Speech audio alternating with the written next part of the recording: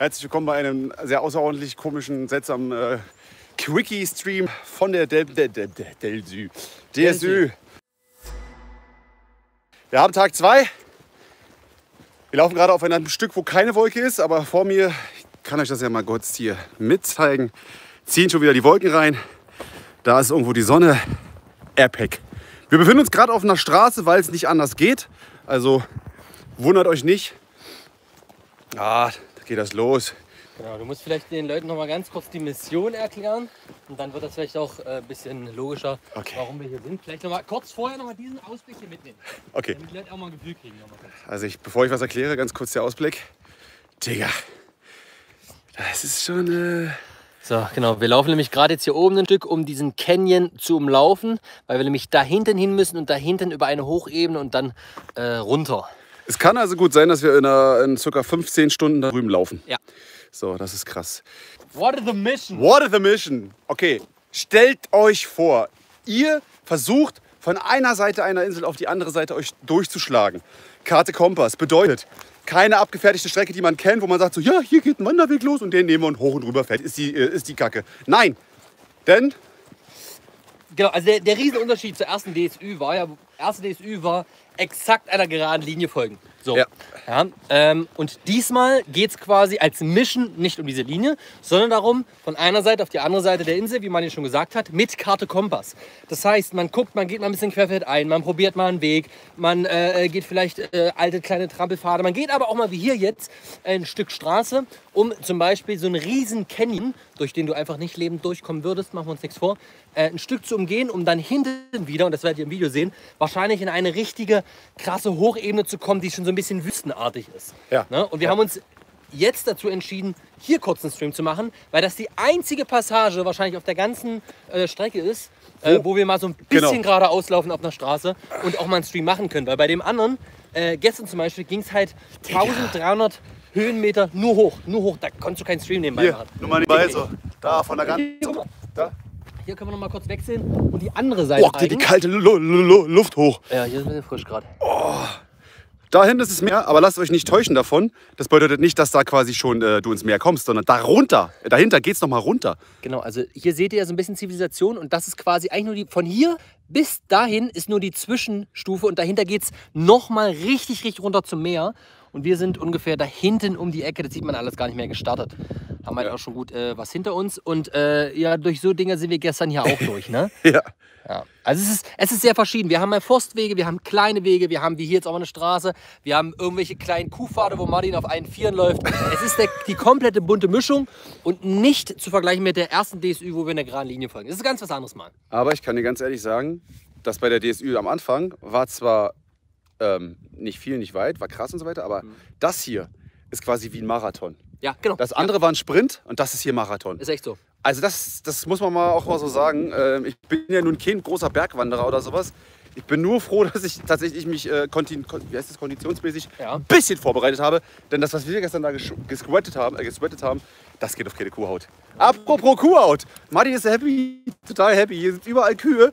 Äh, man sieht hier so ganz kleine Zäune oder sowas.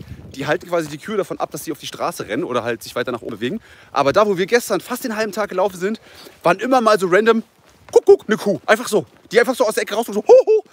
Also ich habe mich auch ein, zwei Mal erschrocken. Und als wir da auf diesem ganz, ganz prekären Pfad waren, aber das lasse ich mal fürs Video offen, weil das war schon echt heftig.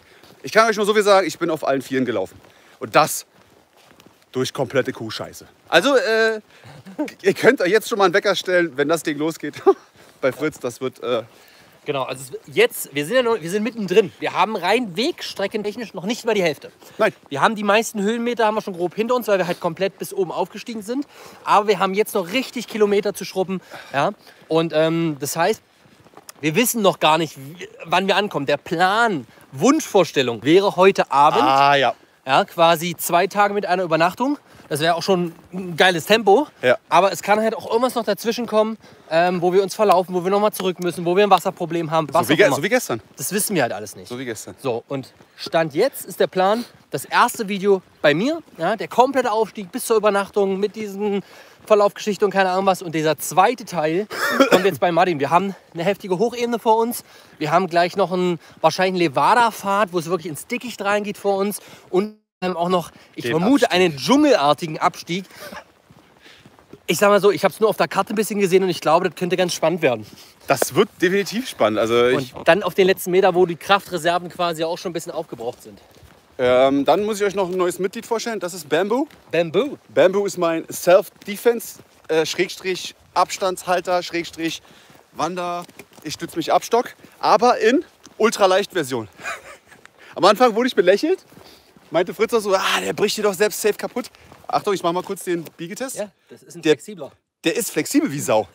Klar, damit kannst du jetzt keinen Stabhochsprung machen, aber ja, das ist schon, äh, mir hat es gestern sehr geholfen beim Aufstieg. Definitiv. Noch eine spannende Geschichte, was ein Riesenunterschied ist zur ersten Durchschlageübung. Die erste war so ein bisschen, ich sag mal, militärisch angehaucht. Ja. Robuste Ja. Sachen. Ja. Ja, ich auch, auch Ja. Fernspeermodus. Poncho, und so. Poncho, genau. Ganz dick, so militärisch. Und diesmal geht es eher in die äh, leichte Variante. Klar, wir haben trotzdem Stiefel und, und robuste Hosen an und, und auch halbwegs robuste Rucksäcke, wenn wir uns irgendwo durchschlagen. Aber gerade beim Übernachtungssetup oder bei bestimmten anderen Ausrüstungsgegenständen ging es diesmal wirklich darum, okay, so effektiv wie Ja, möglich ja, unterwegs ja, zu sein. ja. Wir haben ein Ausrüstungsvideo zusammen gedreht, weil wir sehr, sehr viel neue Ausrüstung haben, die wir auch testen auf dieser Tour. Ja, das kommt bei mir. Und generell auf der Durchschlagübung seht ihr natürlich auch, okay, was funktioniert wie. Zum Beispiel, ich habe im Biwaksack geschlafen, Martin im Zelt. Ja, aber alles Ich, ich spoilere mal nicht, aber es sind äh, schon heftige Unterschiede. definitiv. Wir haben auch äh, die ganz, ganz klaren Unterschied. Ähm, das, das Zelt hört sich jetzt erstmal so an, so, ja, man hat wieder im Zelt gepennt. Nee, das ist tatsächlich Ja, mal das, äh, das Ultraleicht-Ding. Das ist halt, ja, also andere würden dazu Drachen sagen. Die würden es steigen lassen, das Ding. So. es, ich finde, es sieht auf jeden Fall spannend aus. Ja, okay. Ähm, ich muss mal ganz kurz hier die Kamera drehen, damit ihr mal seht, was jetzt gleich auf uns zukommt. Äh, da ist Fritz. So, jetzt denkt ihr so, ja, ne, nee, da hinten, da, quasi das da. Chilligste Part der ganzen Route. Ja, und da hinten kommt quasi wieder ein Aufstieg nach oben. Es ist hier halt ein Auf und Ab und ja, das äh, ist hier. Ach, ich sage euch, ey, das ist geisteskrank. Oh, mein Finger ist vor der Linse. Ich weiß aber nicht, wo meine Linse ist. So, Technik. Ach, da, okay. Okay, das ist. Der Planet drückt, aber ich bin ganz froh, dass noch ein paar Wolken vor sind, weil das ist, wenn die Sonne rauskommt, ist hier, das hier Death, Death Rally. Das ist schon ein bisschen krank hier. Ich glaube, jetzt sieht man den Canyon auch noch mal ein bisschen besser hier. Können wir nochmal Einen Gucker machen. Dass klar wird, dass da das. Alter, dass da einfach kein Durchkommen ist. Ja, das ist dieser Riesen, genau, das ist das hier, was ihr seht dazwischen, dieses Dunkle, ist diese Riesenschlucht, die wir jetzt versuchen, da hinten irgendwo zu umgehen. Das ist Sinn und Zweck der ganzen Sache.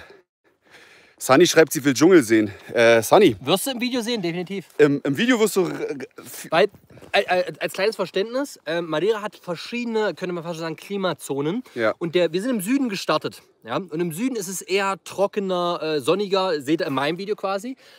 Jetzt kommen wir gleich irgendwann in die Hochebene. Hier oben ist es sehr wechselhaft, mal wolkig, mal Steppe, stürmisch. Steppe. Wir haben gerade echt Glück mit dem Wetter. Aber auf der Rückseite im Norden, wo wir absteigen, da ist es eher feucht, tropisch, Farne. Ähm, und da, würde, da wird es dschungelmäßig. Das wird krank, weil das ist die Seite, wo ich immer sage, das ist Jurassic Park. Genau. Weil es da so feucht ist. Und das seht ihr bei, bei Martin im Endeffekt im Video. Wir haben aber auch so ein bisschen Jurassic Park bei mir direkt am Anfang. Ja, also stimmt, Der Start, stimmt. ich sag euch, die, ersten, die erste Stunde für uns vom Laufen her, War geisteskrank. Geisteskrank. völlig krank und geil. Werdet ihr sehen. Also es ist landschaftlich, wie das losgeht. Alter, da haust du dich in den Dreck. Ja, das Ding ist auch, ähm, was ich gerade ich hab gerade verloren. Wollte irgendwas gerade sagen. Heben doch auf. Jurassic, Jurassic Park war ich. Äh, Madeira, Übergang, bla bla bla. Ach so, warum wir hier oben einen Stream machen und nicht zum Beispiel auch schon mal im Dschungel oder wo immer wir sind. Denn da gibt es kein Netz. Das heißt, wir müssen hier oben auf dem Hof der Hochebene oder auf dieser Passstraße oder was das hier ist machen, weil nur hier habe ich quasi Netz. Da unten in den Dschungel und so weiter kannst du vergessen. Ja, da, ganz ehrlich, da hast du auch keinen Nerv für einen Stream, weil du immer kannst- gucken musst, wo trittst du hin. So, ähm, Da kannst du nicht zur Seite gucken. Nee. Nein, das ist so, du kannst dir eine GoPro auf den Kopf schneiden, ja, du kannst vielleicht auch mal jemanden filmen, aber du kannst nicht streamen und deinen Chat gucken und die Kamera hochhalten, Nein. wenn du bergab oder bergauf gehst. Deswegen ist das jetzt hier die einzige Möglichkeit, um euch überhaupt mal hier ein kleines Update zu geben. Ja, genau. Und ein Deswegen. Lebenszeichen rauszuhauen. Einfach mal so. Gut. Ja, dann ist ja noch was anderes passiert. Kannst du mal meinen Wanderstock kurz nehmen? klar. Und mal kurz die Seite wechseln? Na klar. Ich glaube, Martin ist verrückt. Ja, ich sag's euch ehrlich, er ist verrückt und er lebt gefährlicher. Macht so Dinge, die hier sonst keiner macht und am Ende überlebt er nur knapp.